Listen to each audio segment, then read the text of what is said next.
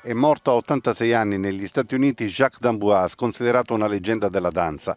Era nato nel 1934 nel Massachusetts da padre irlandese e madre di origini canadesi e dopo essersi trasferito a New York cominciò a seguire lezioni di danza già all'età di 15 anni.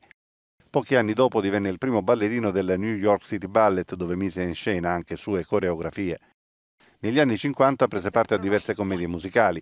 Nel 76 D'Amboise fondò il National Dance Institute per avviare alla danza ai bambini e la storia di questa scuola divenne un documentario premiato con un Oscar nel 1984.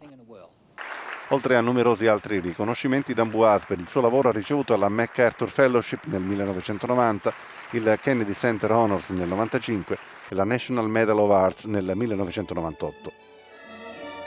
D'Amboise è stato sposato con la fotografa ed ex ballerina Caroline George, morta nel 2009, dalla quale ha avuto quattro figli, tra cui il ballerino e coreografo Christopher D'Amboise e la ballerina Charlotte D'Amboise.